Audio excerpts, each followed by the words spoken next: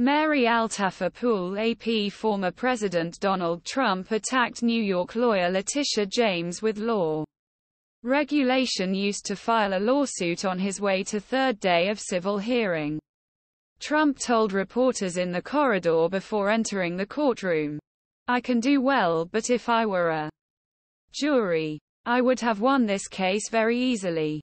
He described James as incompetent VE and said that he went after him after a favored run for the governor.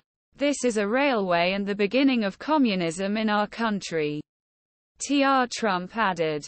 James is attending the hearing. But it is not clear whether Trump has heard his comments in the hallway. Trump added his financial statements were perfect. That there is no. And the banks love us. I borrowed the money and I paid the money fully.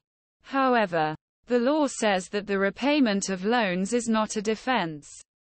Hakim is still valid since he found that Trump and his organization have false by introducing their finances to gain better conditions for loans.